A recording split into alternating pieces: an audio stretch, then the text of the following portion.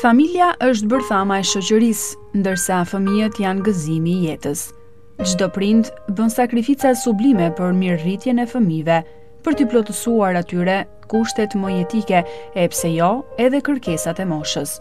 Por për fëmijët jetim, prindrit e të cilëve nuk jetojnë më, nuk rezulton kështu.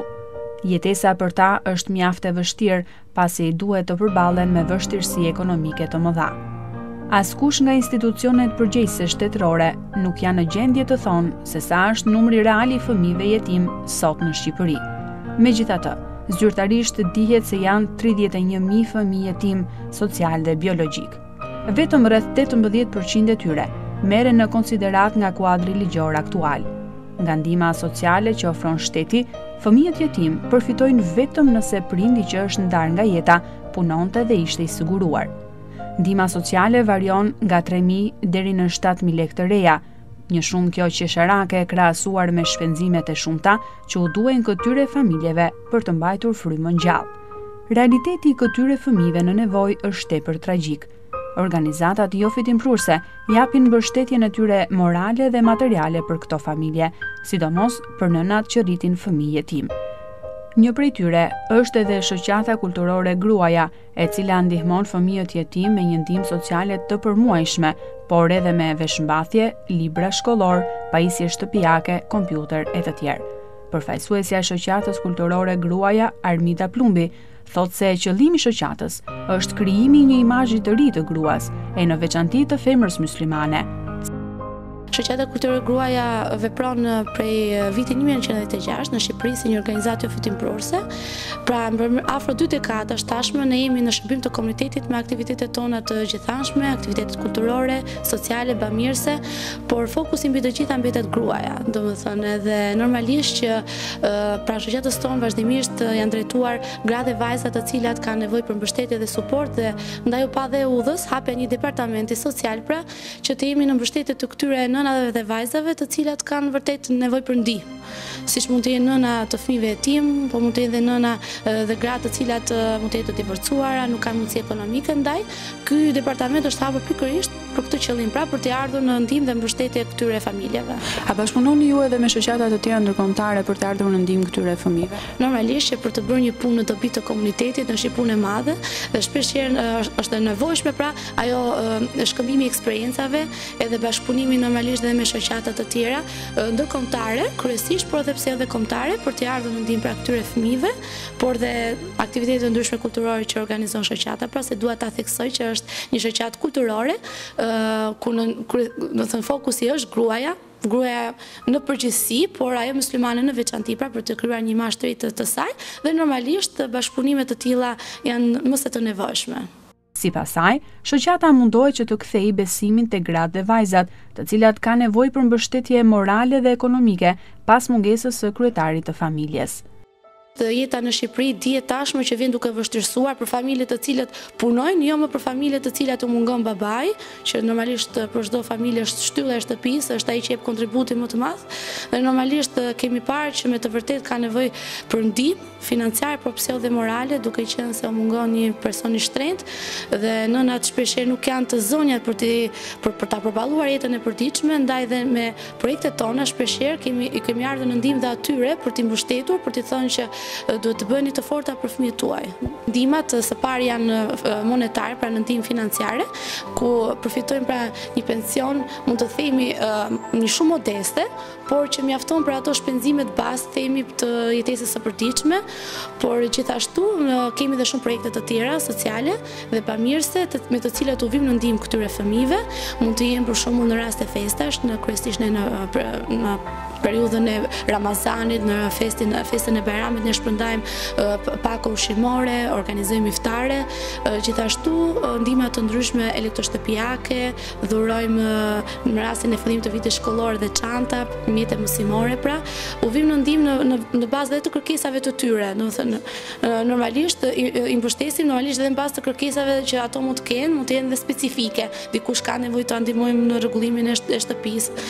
Pra janë të të shumëllojshme por nuk harroj pa përmendur edhe ato aktivitetet e ndryshme kulturore që dhe ato janë një një ndihmë shumë e madhe për ta.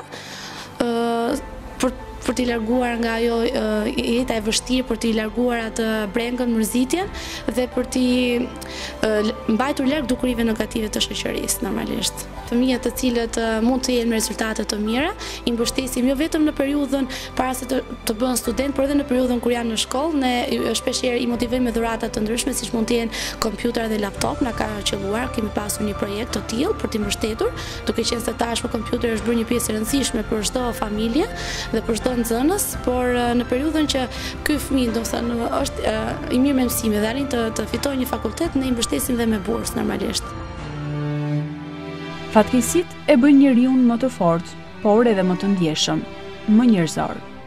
Në familjen e zonjës Sabrie Duraku na rezervuan një pritje të ngrohtë. Ajo tregon se bashkëshorti i saj, Rahman, Prej trembëdhjetë vitesh nuk jeton më, ndaj, asaj i është dashur të kujdeset e vetme për të dy fëmijët, Aisela, katërmbëdhjetë vjeç dhe Ardi, dymbëdhjetë vjeç. Edhe pse ka kaluar mjaft peripeci, Sabria është munduar që t'u plotësojë atyre të gjitha nevojat. Ka dymbëdhjetë vjet që ju jetoni vetëm pa bashkëshortin tuaj dhe i rrisni fëmijët, a ju ka dukur e vështirë jetesa? Vështirë valla e vështirë bile bile shumë shumë e vështirë e çdo ditë më shumë në fillim kam pas dhe nënën time nuk e kam ndi dhe shumë mas vdekjes asaj gjithçka kalamat ishin të vegjël vështirësi ekonomike banesa e vështirë gjithçka po jeta vjen si si të jetë shkrujt, të jetë shkrujt dhe ti, do t'i përballim. Sa të kena mundësi. Si arritët që ta përballoni? Të them të drejtën, më kanë ndihmu shoqata se unë vetëm s'un i kisha dalë kurrë. Se janë gjëna çdo ditë, se çdo gjë duhet. Janë gjëna kryesore, s'un me i le, shumat janë shumë të mëdha. Është veshmbathja, janë librat, janë fletoret, janë çantat, janë kanë kërkesa, le pa pa llogari gjëna të tjera vetëm këto që janë që janë Domosdoshme sa të luksit as nuk nuk na interesojnë fare, nuk i dimë se ku bijnë ata. Dhe janë munu t'na i mulojnë vallaj. Edhe unë s'kam pas më çfarë me pjek as bukën, shoqata m'i ka sjell gjithçka, që është e domosdoshme. Sot për sot që jam ma në vështirësi me fjalë, vetëm për banesën, se jam me qera dhe kjo nuk është, jashtë çdo kusht jetese, nuk është për t'jetu njerëz këtu. Po, nga halli, Jam e detyruar të jetoj këtu. Sa janë të ardhurat tuaja mujore? Të ardhurat e mia mujore që janë nga shteti janë 70.000 lekë të vjetra, pension familjar. Mos me qenë ndihma e shoqatës, unë do t'u detyro me dalë me shtri dorën, me, kërk, me lypë, në rrugë s'ka rrugë tjetër, se vetë s'punoj. Edhe mosha është e vështirë si ajo, nuk mund t'futesh diku me një moshë të re që ke punë në këpucëtari, në Rrobaqepësi këto që janë hap fabrika se nuk merr kush në punë. Po dhe mosha ime s'ka ku gjen punë, se në rrugë s'del dot. Sipas saj, fëmijët jetimë janë nxënës të dalluar, mjaft të edukuar dhe me një botë të madhe, ndaj ata nuk duhet të jenë të privuar e aq më keq të neglizhuar dhe të përjashtuar. Për këta mërzitem shumë të them drejtën, sa mund të t'i kapem që t'i shkolloj të dy. Se në përgjësi, kalamajt jetim, që janë edhe të shoqeve të mija, se takohem në shoqat me ta, janë me një kulturë shumë të mirë, me një pastërti shumë të mirë, me sjellje, me mësime, me gjithçka. Më vjen shumë gjynah, se jo sall unë që kam jetima, po gjitha nanat, i kanë këto probleme siç i ka familja ime. Ka edhe prej atyne që burri ju ka lënë shpi, ju ka lënë tana, po ajo shpia s'hahet. Do të hajë, e kalamani do të rritet çdo ditë. Po një në ma të lënmet kam qëllu unë. Kjo ishte fati. Më vjen shumë gjynah se janë shumë zgjut. T'i bashkosh, t'i bëjsh krahas me një që i ka këto kushtet, i ka prindin, i ka gjithçka, Përballi me to, këto janë ma të dalë nga gjitha anët.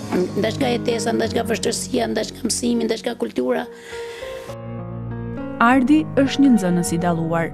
Ai përkushtohet në mësime me qëllim që një ditë të bëhet dikush në jetë dhe t'i shpërblejë nënës së tij të gjitha sakrificat që ajo ka bërë për të. Po, mami me aq mundësi sa ka mundohet që të na i plotësoj kushtet që duam ne, por unë nuk i vendos shumë kushte sepse e di se Është nuk është shumë po ka që është mundësia është e ngushtuar. Ti mendon se kur të rritesh do t'i bëhesh krah familjes tënde? Mësoj çdo ditë sa më shumë që dikush në jetë, domethënë dal dikush në jetë edhe të bëhem të bëhem ndihmës për mamin sepse deri tani më ka ndihmuar shumë.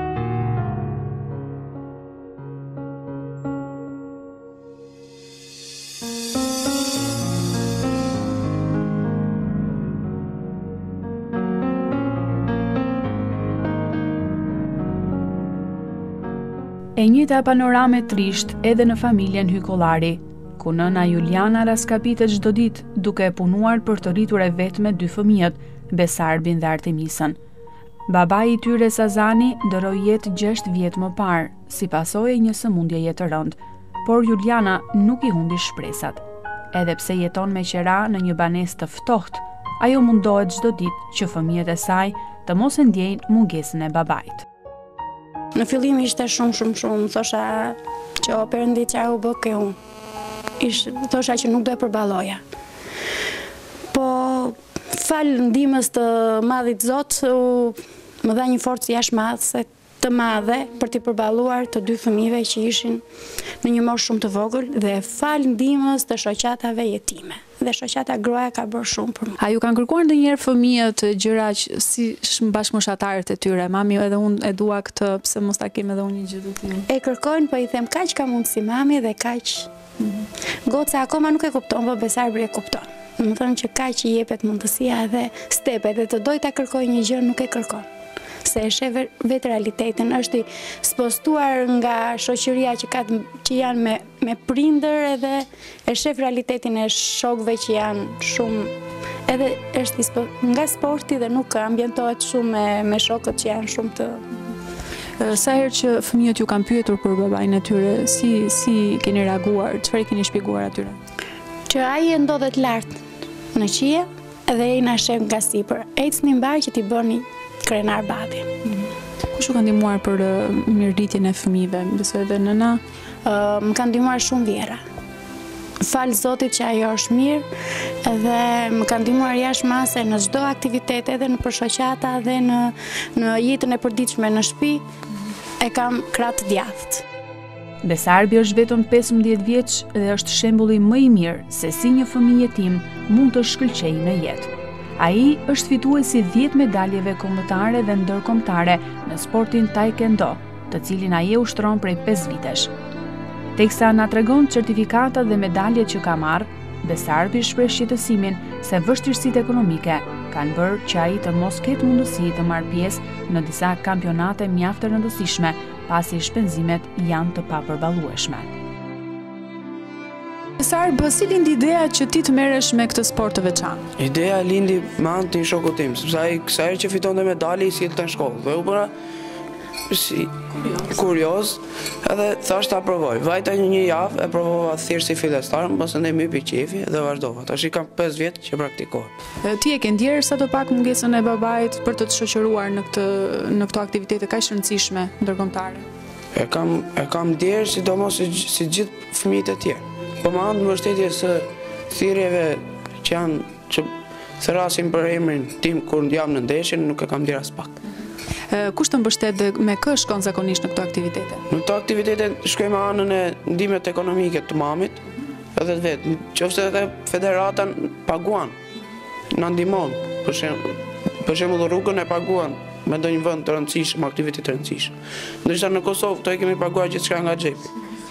Pra mendon se gjithsesi ke vështirësi ekonomike për të përballuar? Ka gjithsesi ka ka sepse ky sport ka shumë rrugë jashtë, edhe nuk mund ta arrijë. Besarbi më shpjego pak këto medaljet më të rëndësishme që ke marrë. Se ti ke marrë shumë, po ndër to kush janë më të rëndësishme? Po, kjo është kjo është e para fare që kisha me 3 muaj sport, ka ndodhur në Prishtinë të Kosovës. e cila kam humbur me rezultatin 5 me 2 për atë sepse ishte brez më i lartë edhe ishte brez më i lartë edhe kishte eksperiencë më shumë. Kjo është prap në Kosovë, në kampionatin mbarëkomtar të taekwondos në Kosovë. Po. Kjo rrugi është medalje ari e cila e kam fituar me rezultatin 8 me 2. Pra në vitin 2011. 2011. Kjo është e Ballkanikut në tetor. Në tetor. Cila po. Edhe kjo shumë e rëndësishme për ty. Kjo është e kampionatit kombëtar, i cili nga viti kam mbajtur titullin kampion kombëtar për vitin 2013 në mars, edhe deri Deri në marsin e kaluar. Për këto aktivitetet që janë ndërkombëtare dhe sigurisht që ka shpenzime për to, a ke mundësi të shkosh në të ardhmen? Në mundësi në të ardhmen me ndihmën e shoqatave, të jetimeve, me pensionin e pakt të shtetit, ne mund të arrijmë, pothuajse jo të gjitha aktivitetet, po çerekun e aktiviteteve, po ato që kanë mundësi. Sa shkojnë shpenzimet për një aktivitet për shembull, atje ku shkon? Për një aktivitet i cili mund të jetë i rëndësishëm,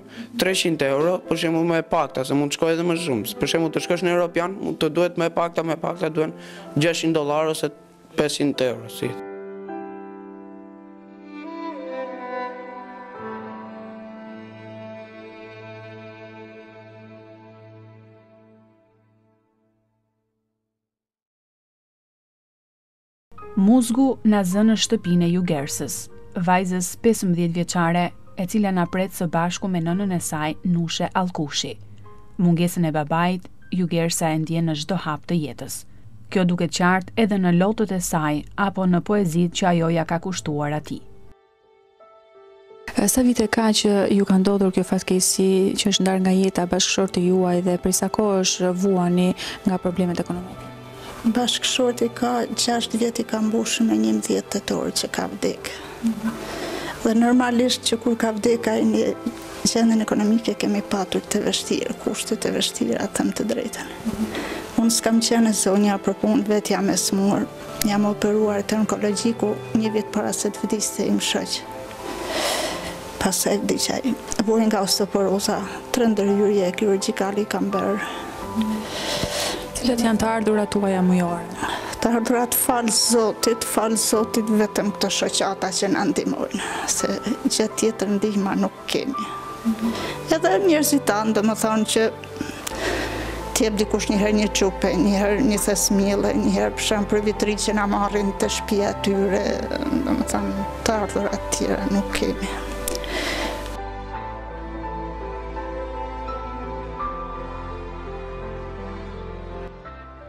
Mamaja e Jugersës, edhe pse është vetëm 56 vjeç, ka probleme shëndetësore dhe ka bërë tre ndërhyrje kirurgjikale, çka e ka vështirësuar edhe më shumë gjendjen e tyre ekonomike. Nushja thotë se vetëm për ilaçe shpenzon mbi 10.000 lekë të reja, ndërsa të ardhurat e saj mujore nuk dalin as për të përballuar nevojat më elementare. Sa të kushtojnë ilaçet në muaj? Ilaçet kushtojnë po t'i marr rregullisht vetëm për osteoporozë, më kushtojnë 105.000 lekë. Duke përjashtuar pastaj jo tension e jo Të tjerat shkojnë goxha. Unë asnjëherë nuk e përballoj dot që t'i marr rregullisht. Por kur ngelem, për shembull se ngelem shpesh herë, kur ngelem, marr ato që e ndjej më shumë që mund të ndihmojnë gjilpërat. Në sociale nga shteti? Jo, jo, jo. Keni ardhë me vonesë, na kanë thënë, duhet t'ishe para nëntëdhjetenjëshit, ne kemi rënë mas nëntëdhjetenjëshit. Pra, ju po mbijetoni vetëm me ndihmesën e shoqatave? Vetëm me këto shoqata. Vetëm me këto shoqata që na i kanë rritë këta kalamajtë. Jeta shumë e vështirë. Unë nuk jam e fuqishme që ta çoj në asnjë vend. Ndjehem shumë bojli për para saj. Është fëmijë. Ka qejf që të shofi, ka qejf që të dali. Unë dita-ditës më poshtë po vete dhe. Nuk e ndihmoj dot. Kur ma çojnë, ndjehem shumë mirë. Ma ka çu edhe shoqata e Alsarit në Turqi, ma ka çu edhe shoqata e gruas. Këtë e kërkoj, domethënë kështu kam qejf që të dali dhe kjo, të mësohet pak, jo gjithmonë. Se edhe kjo pak me mua mërzitet. A e ndjen sadopak mungesën e babait? Shumë. Në dy janar s'kam pas qarë unë u rrëzova për vete dhe nuk dija dot në datën dy ka qarë me pikën e lotit ishte nëna vëllai e motra që ke tha që qante për babin më tha motra kur iku kjo më tha motra hajde se do të shkojmë bashkë tha avash avash tha Kjo e përjeton shumë keq t'jatin. Edhe te shkolla kur shkojmë ta kemi prit. Kjo qa gjithmonë të vetëm ti. Do të jatë kisha dhe babë. Jugersa është brenga e saj më e madhe, pasi nuk është e sigurt nëse do të arri që vajza e saj e vetme të vazhdojë shkollën e lartë. Në hijen e viteve ngelen kujtimet, nga brezi në brez kalohen gëzimet. Zemra po më digjet, mërzia më shtohet me mall dhe respekt, gjithmonë do të kujtohesh. Këtë poezi e kam recituar në në aktivitetin Mall dhe Lot e organizuar nga Shoqata Kulturore Gruaja. Dhe është botuar te revista Familja.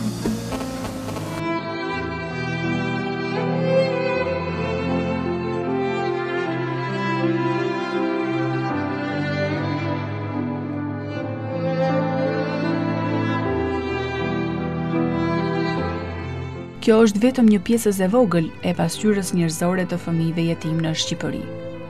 Edhe pse pas 18 vitesh tranzicion, ka akoma familje, ku mungesa e njërit prind ka çuar në varfërim dhe mjerim të tejskajshëm e ku fëmijët janë ata që ndjejnë më së shumti pasojat.